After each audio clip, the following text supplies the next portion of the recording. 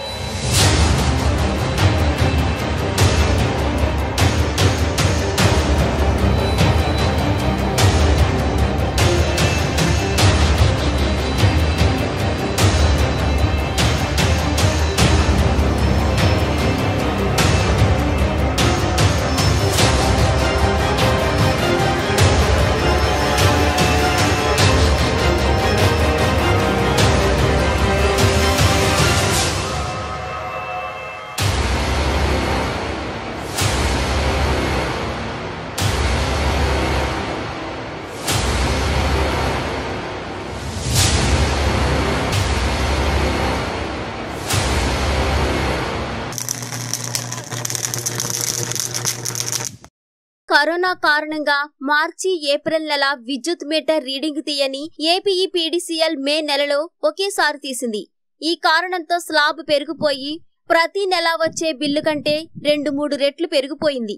దీంతో విద్యుత్ వినియోగదారులు గగ్గోలు పెడుతున్నారు. పూరి పాకుల్లో ఉన్న వారికి సైతం వేలకు వేల బిల్లు రావడంతో ఎలా కట్టేదని ఆవేదన చెందుతున్నారు. కరోనా వలన పనులు కోల్పోయి రోడ్డున పడ్డామని చేసేందుకు పనులు లేక ఆటోలు తిప్పడానికి వీలు లేక పిల్ల పాపలతో ఇంట్లోనే ఉండి పస్తులు ఉండాల్సి వస్తుందని రోధిస్తున్నారు.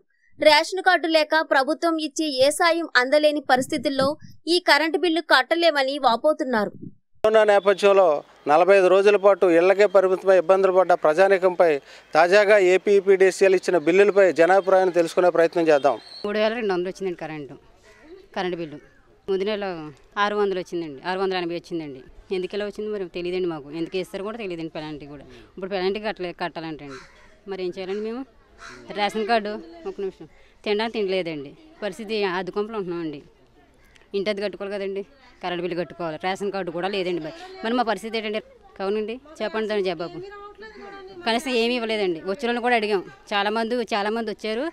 అడిగాం కూడా మీకు ఇవ్వమమ్మ రేషన్ కార్డు ఉంటేనే ఇస్తాం అన్నారు అంతే అండి. అడిగాము కూడా అడిగిన ప్రయోజనం లేదు అన్నారండి అంతే కట్టలేమండి. మరి ఏంటండి మరి ప- పరిస్థితి ఏంటి చెప్పండి. ఏమన్నా? మాకేమీ లేదండి. మేము అన్నీ అడుగుతామండి మరి గవర్నమెంట్ని. ఏం అడుగుతున్నాడండి ఆటో నడుపుతున్నాడండి. ప్రస్తుతానికి ఇప్పుడు ఆటోలు కూడా తిరగ తిరుగుతలేదు కదండి. ప్రస్తుతానికి ఖాళీగా ఉంటున్నామండి. అదండి. ఇంట్లో ఖాళీగా ఉంటున్నామండి. ఇంటి ఎంత కట్టాలి. కరెంటు బిల్లు కట్టాలి. పిల్లలు ఇద్దరండి ఇద్దరు మగ పిల్లలండి ఇదండి మా పరిస్థితి. మరి ఏం చేయాలనుకుంటున్నారు మరి మీరు? చెప్పండి. ఇంకోండి బిల్లు కూడా?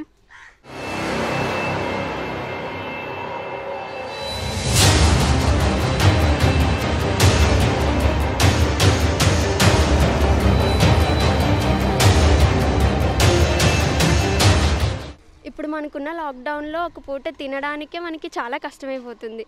ఓ ప ఓ పూట తింటే ఇంకో పూట పస్తులు ఉండాల్సి వస్తుంది ఇలాంటి పరిస్థితుల్లో ఏమీ తెచ్చుకోలేక పనులు లేక డబ్బులు లేక ఇంతలా విలువిల్లాడిపోతుంటే ఓ పక్క క- గవర్నమెంట్ కరెంటు బిల్లు డబల్ చేస్తుంది. దీనివల్ల మీ మేము ఈ మనీ ఎలా కడతాం? ఇప్పుడు డబ్బులు లే ఇప్పుడు అసలుకే ఎండాకాలం. ఎండాకాలం మనకి గాలి లేకపోతే అస్సలు ఉండలేం. మనమే అలా అయితే పేదవాళ్ళు ఇంకెలా ఉంటారు? ఇప్పుడు వాళ్ళు కరెంట్ బిల్ కరెంట్ బిల్లే కట్టాలా? వాళ్ళు తిండే తినాలా డబ్బులతో ఎవ్రీ మంత్ తీసే ఈ బిల్స్ వల్ల ఎవరు సఫర్ అయ్యేవారు కాదు. అలా తీయక టూ మంత్స్కి ఒకసారి బిల్ తీయడం వల్ల ఉన్నవాళ్ళు పేదవాళ్ళు అందరూ కస్- అందరూ సఫర్ అవుతున్నారు. ఉన్నవాళ్ళంటే ఎలాగోలా కట్టుకుంటారు. ఎందుకంటే వాళ్ళకి ఎకనామిక్ బ్యాక్ ఉంటుంది. మరి పేదవాళ్ళకి అలా ఉండదు కదా. ఎప్పుడు ఏ రోజు పని ఆ రోజు డబ్బులు వస్తాయి. అదే పని లేకపోతే వాళ్ళకి ఎలా వస్తాయి డబ్బులు? సో మాకు కొంచెం ఈ టూ మంత్స్లో తీసింది కొంచెం అమౌంట్ తగ్గించాలని కోరుకుంటున్నాను.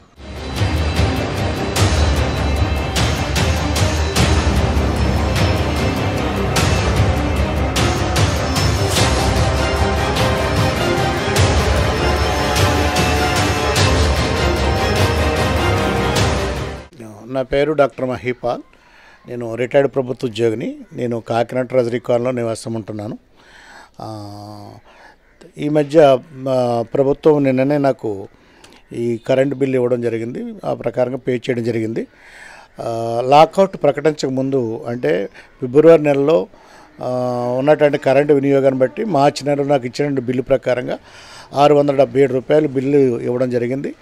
నాకు రెండు వందల యూనిట్లు కాలినట్టుగా వాళ్ళ లెక్కల్లో ఇచ్చి తర్వాత ఆరు వందల డెబ్బై ఏడు రూపాయలు పే చేయమంటే ఆరు వందల డెబ్బై ఏడు రూపాయలు కూడా పే టైం ద్వారా పే చేయడం జరిగింది.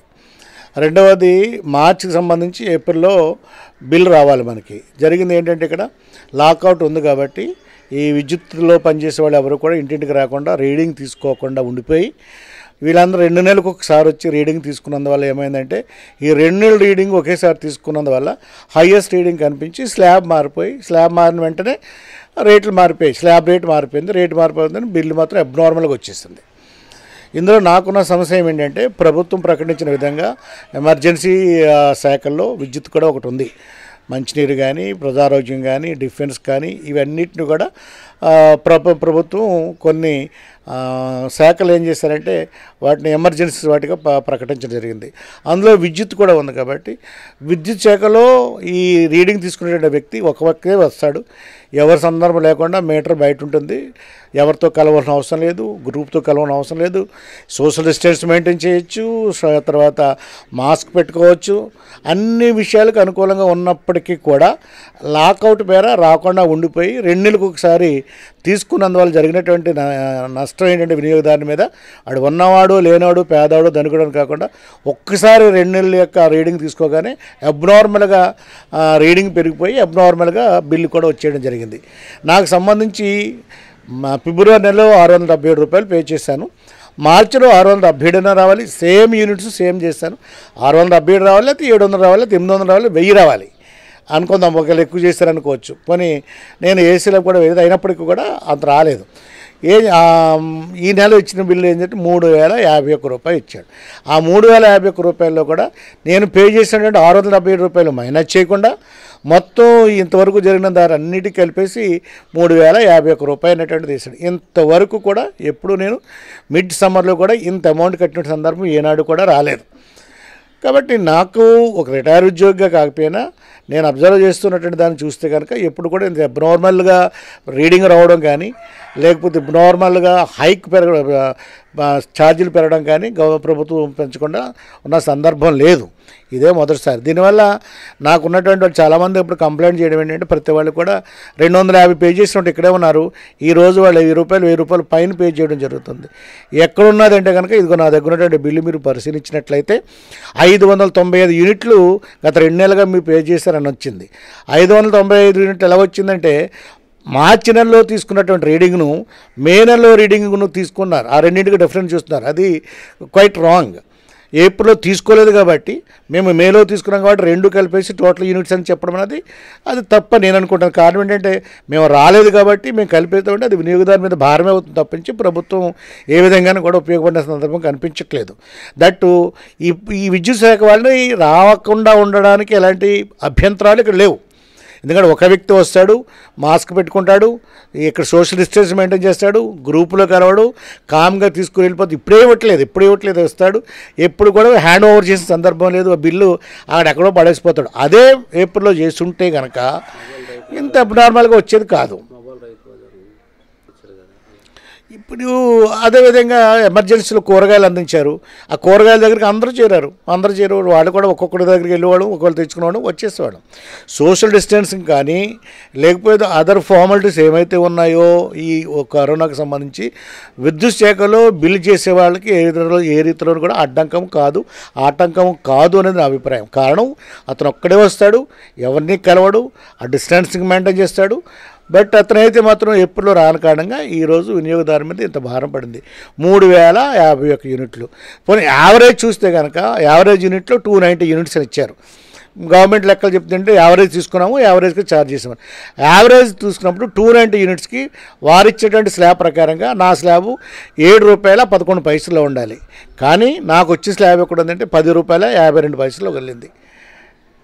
ఆ ఆ ప్రకారంగా చూసినప్పటికీ కూడా పది రూపాయలు యాభై రెండు పైసలకు వెళ్ళింది. ఆ విధంగా కూడా హైయెస్టే ఏది ఏమైనప్పటికీ కూడా ఈ జరిగినటువంటి చిన్న పొరపాటు అనేక మంది ప్రజలకు మాత్రం ఇబ్బంది పడుతున్న విషయాన్ని ప్రభుత్వం గమనించి దీనిపైన ఎవరో ఒక రకమైనటువంటి చర్య తీసుకున్న అవసరం తప్ప మేము కరెక్ట్గానే చేసామన్నది మాత్రం కరెక్ట్ కాదు. ఏదో ఒకరి విషయంలో తప్ప వచ్చే కానీ మొత్తం రాష్ట్ర వ్యాప్తంగా అనేక మంది వినియోగదారులు ఇబ్బంది పడుతున్న విషయం ప్రభుత్వ దృష్టికి ఇప్పటికే వచ్చింది. ఏప్రిల్లో బిల్లింగ్ వచ్చి చేసే వ్యక్తి రావడానికి ఎలాంటి ఆటంకాలు లేవు. ఎలాంటి ఆటంకాలు లేవు. గవర్నమెంట్ ఇచ్చిందంటే గ్రూప్ గ్రూప్గా వెళ్ళొద్దు. సోషల్ డిస్టెన్సింగ్ మెయింటైన్ చేయండి. మాస్క్ కట్టుకోండి. శానిటైజర్ వాడండి. ఇవన్నీ ముందు నుంచి చెప్తున్నారు. కాబట్టి ఏప్రిల్ ఎనిమిదో తారీఖున వచ్చి ప్రతి నెల ఎనిమిదో తారీఖు తీసుకుంటారు వాళ్ళు. ఎనిమిదో తారీఖున ఇంటింటికి రావడానికి బిల్లు తీసుకోవడానికి అతనికి ఉన్నటువంటి ఇబ్బందులు ఏమీ లేవు. రాలేనందువల్ల ఈ- పొరపాటు జరిగింది.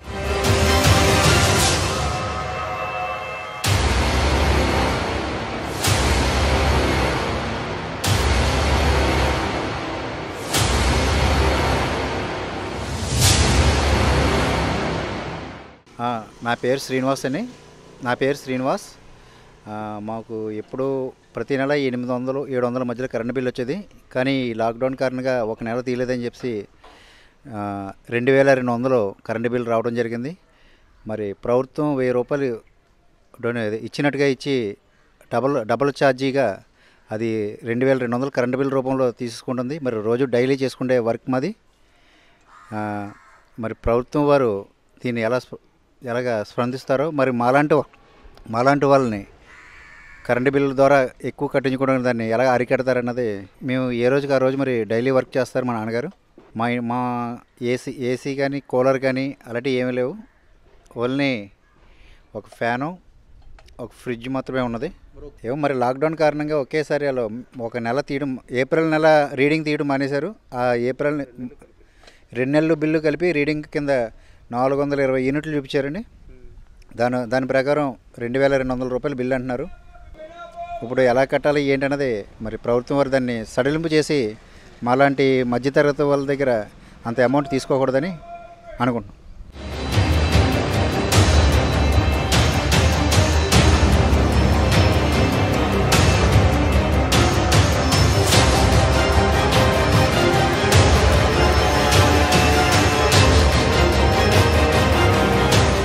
కరోనా లాక్డౌన్ విధించినటువంటి ప్రక్రియలో ట్రాన్స్కో అధికారులు ఇంటింటికి వెళ్ళి మీటర్ రీడింగ్ తీసేటువంటి అవకాశం లేదు కాబట్టి ఆ ముందు నెల ఎంతైతే విద్యుత్ బిల్లు రీడింగ్ వచ్చిందో అదే ప్రకారంగా చెల్లించండి.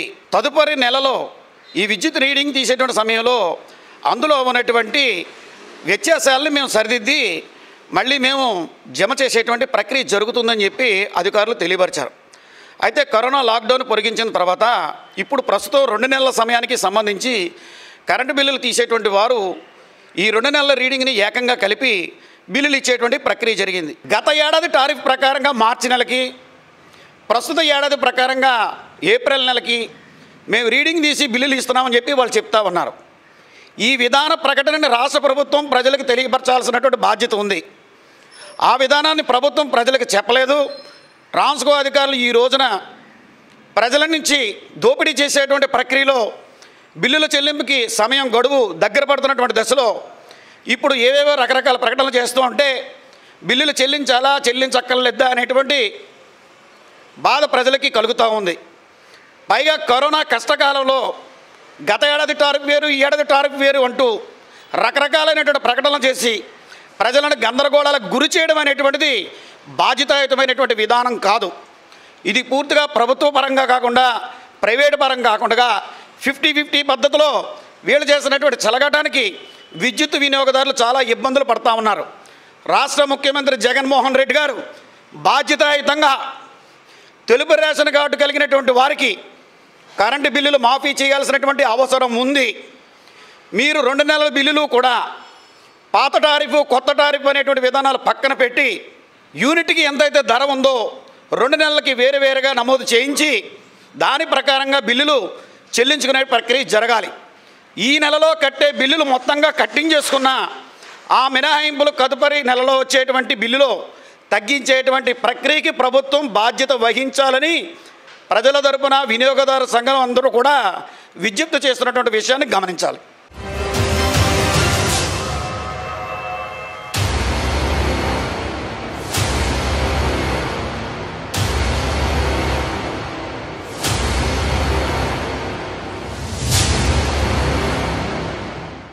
మాకు మూడు రెండు నెలల బట్టి నుంచి లాక్డౌన్ వల్ల ఇంట్లో నుంచి బయటికి వెళ్తలేదండి. కరెంట్ బిల్ నాలుగు వేల రూపాయలు వచ్చిందండి. మేము ఎలా కట్టాలండి చంటి పిల్లలతో ఉన్నవి ఓ పూట వెళ్తే కానీ మా ఇంట్లో గడవదండి. అలాంటి నాలుగు వేల నాలుగు వందలు కరెంట్ బిల్లు వస్తే మేము ఎలా కడతామండి? అదే.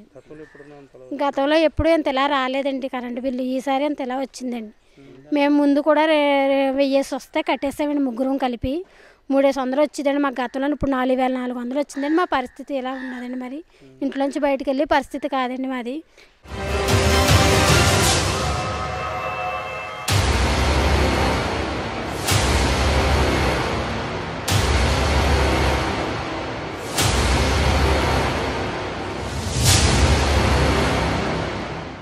కూలి పనేనండి.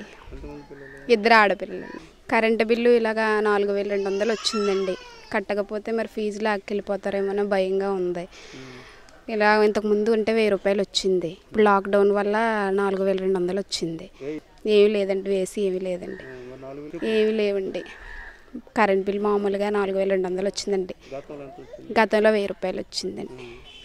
సడన్గా మూడు వేలు పెరిగిపోయిందండి. కట్టకపోతే పరిస్థితి కూలి పనికి వెళ్ళడం ఒక పూట తెచ్చుకోవడం ఒక పూట తెచ్చుకోవడంలో ఉంటున్నామండి. ఇప్పుడు కరెంటు బిల్ మరి నాలుగు వేల రెండు వందలు అంటే కట్టకపోతే ఫీజు లాక్కెళ్ళిపోతారేమో అని భయంగా ఉండి కట్టాలంటున్నారు తప్పనిసరిగాన చంటి పిల్లలతో ఇద్దరు ఉన్నామండి. ఇద్దరు ఆడపిల్లలేనండి. అధికారులు ఎవరు అడగలేదండి. కరెంట్ బిల్ మామూలు తీసినతన ఇచ్చేసి వెళ్ళిపోయారండి బిల్లు. ఇంత కరెంటు బిల్లు కట్టలేమండి. చాలా దారుణంగా తీసారండి మాది రే అద్దెకేనండి. రేకుల షెడ్ అండి. రేకుల షెడ్ అండి. నాలుగు వేలు వచ్చిందండి.